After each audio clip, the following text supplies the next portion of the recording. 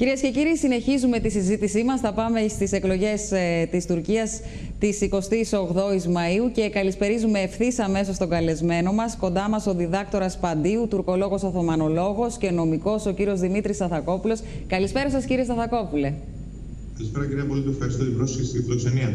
Εγώ σας ευχαριστώ πολύ για την παρουσία σας και την αποδοχή της πρόσκλησης που σας απίθυνα για να μιλήσουμε για τις εκλογές και τώρα αυτές που έρχονται τώρα τη 28η Μαου στην Τουρκία. Πρώτα όμως θα ήθελα να σας ε, ρωτήσω μία μεγάλη απορία που έχω εδώ στην Ελλάδα. Προσπαθούμε να αναλύσουμε για ποιο λόγο έπεσαν οι δημοσκοπήσεις έξω για τα δικά μας, τις εθνικές εκλογές. Ε, για ποιο λόγο έπεσαν έξω στην Τουρκία τώρα οι αναλύσεις, οι δημοσκοπήσεις, οι προβλέψεις για τις πρώτες εκλογές της 14η Μαου και πρέπει να σημειώσουμε ότι εσείς εδώ και πάρα πολύ καιρό επιμένετε, πρώτου καν μπει σε προεκλογική διαδικασία η Τουρκία, ότι έτσι κι αλλιώς πρώτος θα είναι ο κύριος Ερντογάν. Ε, δεν έχετε κάποια μαγική μπάλα μπροστά σας. Με βάση μοντέλα και τις γνώσεις που έχετε και τα, τα, τα επιστημονικά στοιχεία το βλέπετε αυτό. Πώς εσείς το είδατε λοιπόν και πώς έπεσαν έξω οι δυτικές αναλύσεις, οι δυτικοί αναλυτές; Ναι, ε, θα ξεκινήσω από αυτό που είπατε τώρα πολύ σωστά ως διαπίστωση. Η Δύση δεν διαβάζει σωστά την Τουρκία. Διαβάζει την Τουρκία όχι βάσει των δεδομένων, των sui generis, των ιδιογενών, ιδιότοπων ε, στοιχείων που έχει η Τουρκία, ως τουρκική κοινωνία δηλαδή και πολιτικό σύστημα. Ναι. Η, Τουρκία, η Τουρκία δεν διαβάζεται λοιπόν ε, με τα εγχειρίδια δυτικής σκέψης. Τα εγχειρίδια δυτικής σκέψης μπορούν να είναι χρήσιμα για να ερμηνεύσεις δυτικό πολιτισμό, να ερμηνεύσεις την Ευρώπη ή την Ελλάδα ενδεχομένως. Σίγουρα όχι όμως την Τουρκία. Για να ερμηνευτεί η Τουρκία πρέπει να έχεις ειδικότητα στην Τουρκία, να γνωρίζεις τη, γλώσσα, να μπορείς να ακούσεις ε, όχι από μετάφραση ή από υπότιτλους τι λένε, πώς το λένε και κυρίως, μιας και μιλάμε τώρα για τον πρόεδρο Ερντογάν, να ακούς τον πρόεδρο Ερντογάν στην πρωτότυπη γλώσσα του, δηλαδή στα τουρκικά, πώς όταν μιλάει στο λαό του, το, το στόμα του στάζει μέλι. Κανένας δυτικός ηγέτης δεν μιλάει στο λαό έτσι. Οι, οι τεχνοκράτες δυτικοί ηγέτες μιλάνε με μαθηματική γλώσσα, με ξύλινη γλώσσα, με πολιτική γλώσσα, ένα και ένα κάνει δύο. Ο Ερντογάν μιλάει στο λαό του, ποιητικά θα μπορούσαμε να πούμε. Στα αυτιά του λαού η γλώσσα η οποία χρησιμοποιεί είναι σχεδόν μελήρητη. Αυτό σημαίνει ότι βεβαίως στο δυτικό κόσμο αυτό δεν έχει κανένα αντίκτυπο. Να λοιπόν ένα σημαντικό στοιχείο διαφοράς νοοτροπίας, κουλτούρας και αντίληψης. Ε, αν προσπαθήσουμε λοιπόν να ερμηνεύσουμε δυτικότροπα την, την Τουρκία, δεν το καταλάβουμε. Τώρα, ειδικά, γιατί πέσαν όλοι έξω.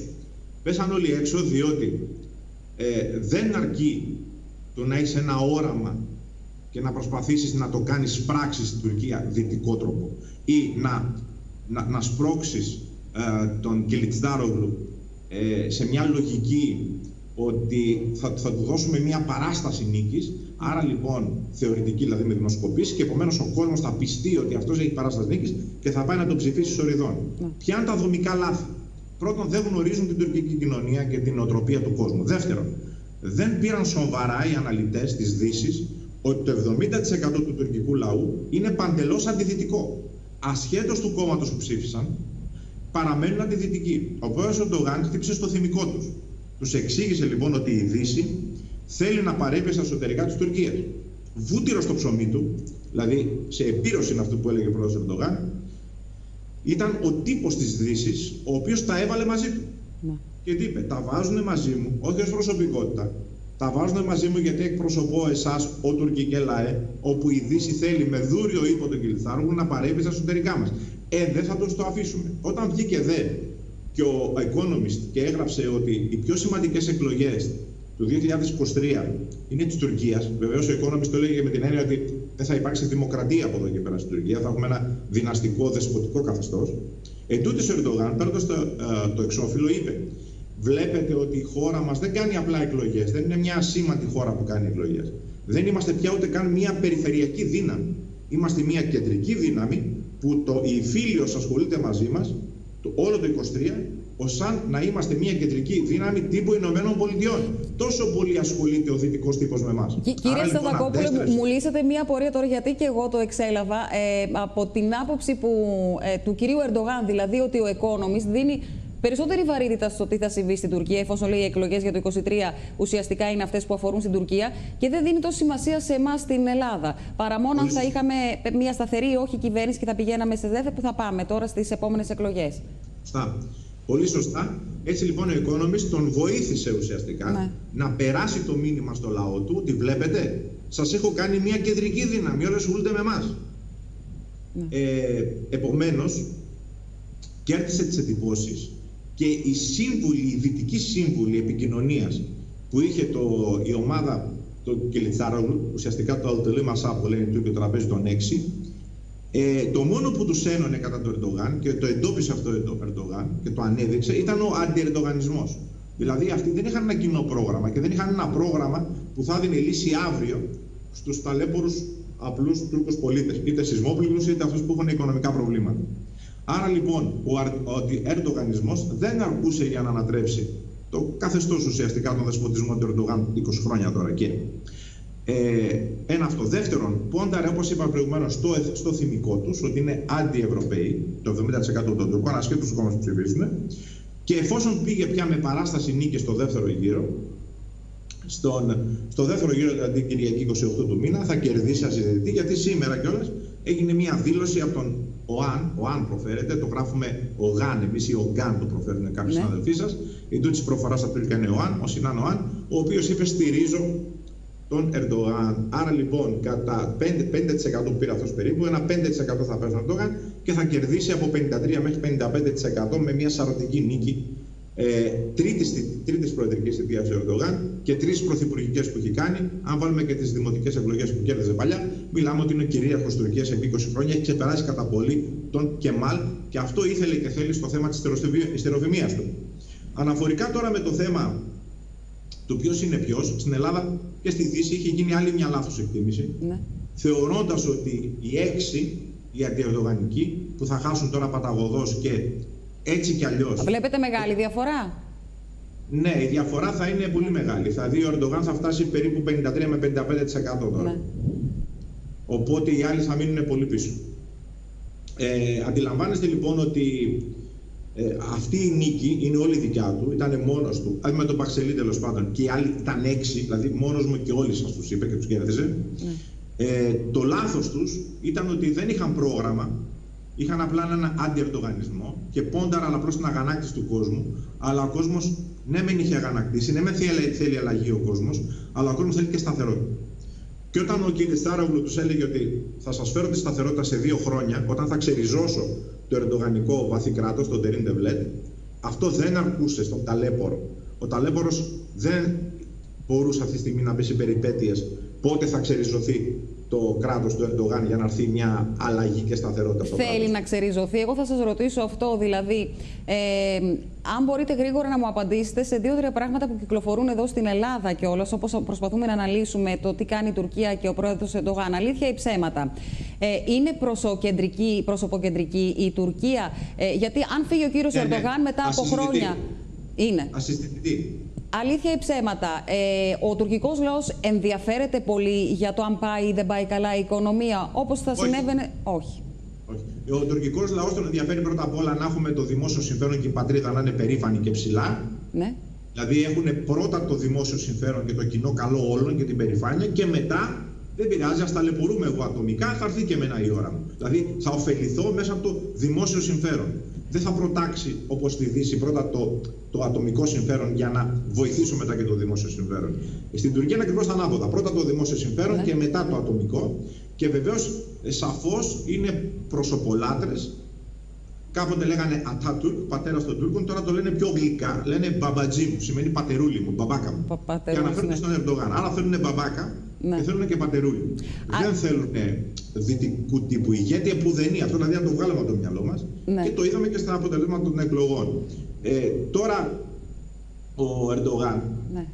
ε, είναι μονοκράτορας γιατί ε, στηρίζει αυτό που στηρίζει, δηλαδή το προφίλ του αυτό που είναι, ε, με δομές σαφώς βαθέω κράτου κτλ. Και σαφώς όπω έχει αντίρρηση εξαφανίζεται, δηλαδή φυλακίζεται, διώκεται, τέλος πάντων φεύγει ναι. στο εξωτερικό αυτό εξόριστος. Οι άλλοι όμως δεν ήταν τα καλά παιδιά όπως πήγε η Δύση να τα παρουσιάσει. Ναι. ο Κίλιτ Ντάρογλου, είναι πνευματικό τέκνο του Ετζεβίτ. Ετζεβίτ σημαίνει εισβολή στην Κύπρο. Η Αξενέρ προέρχεται από το Μπαχτσελί και πιο πριν ήταν υπουργός της Τανσούτσιλερ. Τανσούτσιλερ σημαίνει ίμια. Το δεξί του χέρι, το θεωρητικό δεξί χέρι του Ερντογάν, ο, στην οικονομία δηλαδή ο Αλή Μπαμπατζάν και στην εξωτερική πολιτική, είναι απέναντί του τώρα. Ναι. Ο Νταβούτογλου, ο πνευματικός πατέρας του στρατηγικού βάθους, ήταν απέναντι ναι. τον Ερντογάν. Δηλαδή, πού είναι το προοδευτικό, ήθελα να ξέρω σε όλο αυτό, που κάποιοι ήλπιζαν ότι θα βγει αυτός ο άγρατος εθνικισμός και αναθεωρητισμός Τουρκίας.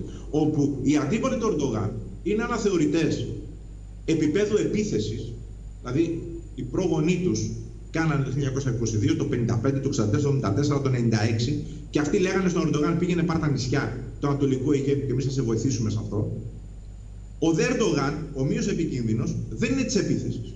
Ο Ερντογάν είναι της πολιορκίας. Δηλαδή μας πολιορκεί, μας πολιορκεί, μας πάει τα νεύρα από το πολλαϊκά, ναι. του λέμε επιτέλους τι θέλεις, μας λέει τι θέλει και το παίρνει ανέμακτα. Εκεί πέρα ποντάρει, αυτή είναι η λογική του. Με πίεση δηλαδή να πάρει ανέμακτα ό,τι μπορεί να πάρει. Άρα... Με λογικοφανή επιχειρήματα ναι. που στην Ελλάδα υπάρχουν φωνές που λένε ότι και η Τουρκία έχει τα δίκαια της να πάμε να τα βρούμε. Ε, αυτό είναι επιτυχία του Ερντογάν, όχι δικιά μας. Ε, και στην Ελλάδα το λένε, πολύ δε περισσότερο στην Αμερική και στην Ευρώπη. Ε, επιτυχία του Ερντογάν είναι αυτό. Α, αφού κύριε Σταθακόπουλε και ο Διευθύνων Σύμβουλος της Ιταλικής, του Κολοσσού της Ένη, που είναι κάτω στην ε, Λιβύη, ε, ε, ως μη όφιλε έκανε ε, πρόταση, παρέμβαση στην ε, Ιταλική κυβέρνηση έτσι ώστε να μπει και η Τουρκία στη συζήτηση για τον EastMed διότι λέει η Τουρκία έχει υπογράψει το, το μνημόνιο με την Λιβύη. Ε, το οποίο εμείς λέμε άκυρο ναι. και εγώ επιμένω ως νομικός τρία χρόνια ότι δεν είναι άκυρο αφ' αυτού, δεν το έχει ακυρώσει κάποιο όργανο δικαστικό. Ναι. Είναι ακυρώσιμο, δηλαδή έχει στοιχεία ακυρότητας, αλλά μέχρι να ακυρωθεί δεν είναι άκυρο, είναι ακυρώσιμο. Νομικά, όσοι γνωρίζουμε, αντιλαμβανόμαστε τις έννοιες, αλλά πάντως δεν είναι άκυρο. Και να που έρχεται η Έννη και λέει υπάρχει και το μνημόνιο. Άρα είναι ενεργό το μνημόνιο. Δεν είναι άκυρο αφ' αυτού. Δεν το έχει ακυρώσει κάποιος σε κάποιο διεθνές ή τοπικό δικαστήριο της Λιβύης ή της Τουρκίας. Είναι ακυρώσιμο μεν, αλλά δεν έχει ακυρωθεί δε. Παράγει ενώμα αποτελέσματα. Τι να κάνουν. Ιδού η Έννη που το συνομολόγησε. Κύριε Σταδακόπουλε, θέλω να κάνουμε μια υπόθεση εργασίας, γιατί μου είπατε ότι ε, ο τουρκικός λαός είναι και γενικότερα η διάθεσή του στρέφεται προς τον κύριο Ερντογάν, γιατί είναι προσωποκεντρική η Τουρκία. Σωστά. Το μεγαλύτερο κομμάτι που είναι το κομμάτι της Ανατολίας ψήφισε τον κύριο Ερντογάν. Από την άλλη έχουμε άλλη μία τομή, την κουρδική που λέμε Τουρκία, και από την άλλη έχουμε τα παράλια που ψηφίζουν, ε, ψήφισαν τώρα με βάση τα τελευταία στοιχεία ε, την, ε, την αντιπολίτευση. Οπότε βλέπουμε μία Τουρκία τριχοτομημένη. Πρώτον, υπάρχει πιθανότητα στο άμεσο, στο απότερο μέλλον, αν ο κύριος Ερντογάν δεν είναι στην εξουσία, να τριχοτομηθεί η Τουρκία. Ναι ή όχι, και το λέω όχι, όχι λέτε. Όχι. Είμαι, κατα... Είμαι απόλυτα όχι. Και άμα δεν βρουν έναν ε, που να είναι ε, ίσης αξίας ή ίδιου βεληνικού με τον κύριο Ερντογάν, θα προσπαθήσουν να βρουν έναν άλλον που θα πάρει τη θέση του; Ναι, ε, γνωρίζοντας εδώ πέρα στατιστικά τι γίνεται στην ιστορία της Τουρκίας και δι των Οθωμανών, ναι. ο Ερντογάν, αν δεν βρει τον α, διάδοχό του, ο ίδιος θα τον διαλέξει τον διάδοχό του και ναι. δεν είναι εισάξιος με αυτόν, ναι. ούτως ώστε να έχει δύο κριτήρια. Πρώτον, να, να, να τιμήσει την ιστοροφημία του Ερντογάν και το δεύτερο, να συνεχίσει το έργο του Ερντογάν για μια μεγάλη Τουρκία. Το όραμα του, του, του, Τούρκου για τα επόμενα 100 χρόνια είναι ότι η Τουρκία πρέπει να μπει από τους G20 που είναι τώρα στους G7 ναι. και πρέπει το 2071, χίλια χρόνια από τη μάχη του Μάτσιγκερ, από το 2071, να είναι στις τρεις χώρες που θα ελέγχουν τον μπέλο τη ανθρωπότητα. Αυτό είναι το όραμα και το, το, το, το μήνυμα που αφήνει παρακαταθήκη στους διαδόχους του Ερντογάν. Αν λοιπόν από τη δικιά του ομάδα, του ΑΚΠ, οι ΑΚΠΛίδε, δεν μπορέσουν να το συνεχίσουν αυτό και δεν διακρίνει εκεί πέρα αυτό το στοιχείο, τότε κατά πάγια τακτική των Οθωμανών Σουλτάνων θα δώσει το δαχτυλίδι στο πιο άξιο, έστω και αν είναι αντίπαλός τους σήμερα. Γι' αυτό το λόγο μη μας παραξενεύσει αν στην επόμενη πενταετία δείξει ανοχή ή στηρίξει ακόμα και τον Ιμάμογλου, ο ναι. οποίος είναι κοινής καταγωγής, ποντιακής δηλαδή, ε, με τον Ερντογάν, ε, πήρε πάνω του αυτή τη στιγμή όλη την αντιπολίτευση ο, ο Κιριτσάργο είναι εξαφανισμένος, ο Ιμάμογλου έχει πάρει επάνω του την ήττα της αντιπολίτευσης. Αυτός μάχεται, αυτόν έχει κλείσει ο λαιμός. Αυτός είναι παντού συνέχεια στις τηλεοράσεις στις, στις, ε, πάνω στα βάθρα να μιλάει στον κόσμο κτλ. Και, και να προσπαθεί να πει στον κόσμο να πάνε να ψηφίσουν ή να αλλάξουν και την ψήφο τους, αν είναι δυνατόν, την Κυριακή 28 του μήνα. Επομένως, ο ηγέτης, ο, ο Αντιερντογάν, αναδεικνύεται μέσα από αυτές τις εκλογές ο Ιμάμογλου. Αυτό... Αν ο Ερντογάν κρίνει ότι ο Ιμάμογλου είναι ένας άξιος αντίπαλος που μπορεί να συνεχίσει το μεγαλείο κατά τον Ερντογάν της Τουρκίας, όπως τον ονειρεύεται ο Ερντογάν, και αποκαταστήσει την ιστεροθυμία του Ερντογάν, δηλαδή δεν τον κυνηγήσει, και επειδή μεγάλος ηγέτης ήταν ο Ερντογάν, άσχετα αν ήταν αντίπαλος, τότε ναι, την ανοχή ή την υποστήριξη του Ερντογάν, ναι. μην παραξενευτείτε αν δείτε να την έχει ο Ιμάμογλου, διότι όπως ξαναείπα, οι Τούρκοι πρωτίστως ναι. σε, σε, σε αντιδιαστολή με τους δυτικού ε, πληθυσμούς και λαούς, πρω, προτάσει το δημόσιο συμφέρον και την πατρίδα και δευτερευόντως το ατομικό συμφέρον και το, το ατομικό δικαίωμα, αν θέλετε, που είναι η κορονίδα του δυτικού πολιτισμού. Δηλαδή το, το δικαίωμα στην, στο, στην ατομικότητα ναι. και στην προσωπικότητα. Αυτό... Στην, στην Τουρκία είναι ακριβώς το ανάποδο. Αυτό που κυκλοφόρησε σήμερα ως είδηση από την Τουρκία ότι ένα πολύ δυνατό στέλεχος του Τσέχα Πέιβ ζήτησε από τον ε, Κιλιτσάρογλου να αποχωρήσει έτσι ώστε να μην γίνουν τώρα εκλογές και κατά το Σύνταγμα να γίνουν μετά από τρεις μήνες. Θεωρείτε ότι ε, μπορεί να λάβει σάρκα και οστά ή όχι; Ε, όταν κάποιος χάνει, αυτό είναι επανανθρώπινο φαινόμενο και παγκόσμιο θα μπορούμε να πούμε, λέει πολλές ανοησίες. Ναι. Ε, κάποιο μεγάλο στέλεχος επιβεβαιώνει το Τσεχαπέ, δηλαδή του Ρεπουμπλικανικού κόμματος, στο οποίο ανήκει και ο, ο επιβεβαιώνει ναι. τον πανικό που τους έχει πιάσει εκεί και την αποδόμηση που έρχεται μόλις ιτηθούν την Κυριακή. Επομένως, ε, θεωρώ ότι αυτό έστω κι αν. Να σας πω, λέει, δεν κοίταξα το σύνταγμά τους, γιατί τώρα και εγώ προηγουμένως έμαθα την είδηση. Ε, αν λοιπόν παρετηθεί ο δεύτερος ανθυποψήφιος, δηλαδή του Ερντογάν, ε, και πούνε δεν γίνονται εκλογές γιατί δεν μπορεί να πάει μόνος στις εκλογές την Κυριακή ο Ερντογάν και πούνε αναβάλλονται οι εκλογές μέχρι να βρεθεί άλλος αντίπαλος και ηγέτης και επαναλαμβάνονται σε τρεις μήνες. Ξαναλέω, δέχομαι καλόπιστα αυτό που είδα και εγώ ως είδηση. Ε, δεν το κοίταξα στο Σύνταγμά τους, αν και έχω μια εικόνα δηλαδή γενική ως νομικός μιλώντας για το Σύνταγμά τους. Εν αυτό δεν την ξέρω αυτή την λεπτομέρεια. Σε κάθε περίπτωση, αυτό δεν λέγεται στο παραπέντε, δείχνει πανικόβλητους αντιπάλους του Ερντογάν και βεβαία ήττα τους. Και όποιος το είπε αυτό από το Τσεχαπέ, γιατί είναι και μεγάλος τέλεχος, ε, βλάπτει τη μεριά τους για τις εκλογές 28 Κύριε Σταθακόπουλε, επειδή με πιέζει ο χρόνος, θέλω μια γρήγορη απάντηση ώστε να είναι η αφετηρία της επόμενης ε, συζήτησής μας, αν το επιθυμείτε κι εσείς, στο Europe One, έτσι κι αλλιώς μας τιμάτε με την παρουσία σας.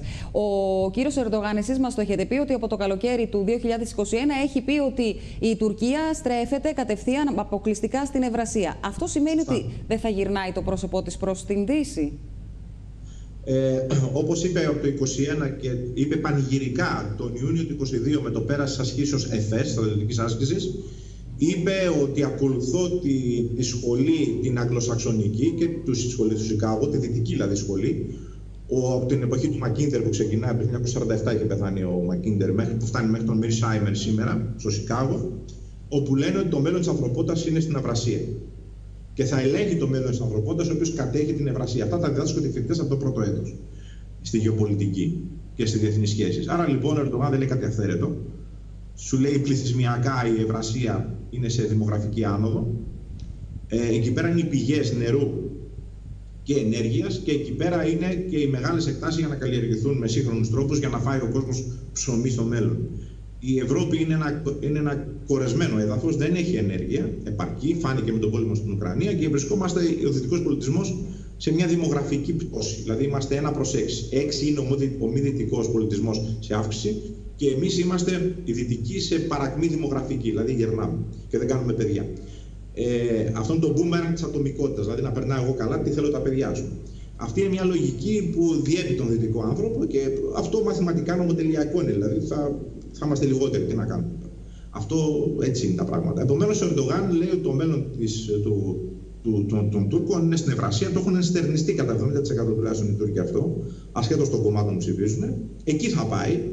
Και θεωρώ ότι αυτό που διαβάζαμε τη δεκαετία των 90, ε, ότι θα έρθει η σύγκρουση των πολιτισμών, ε, θα έρθει.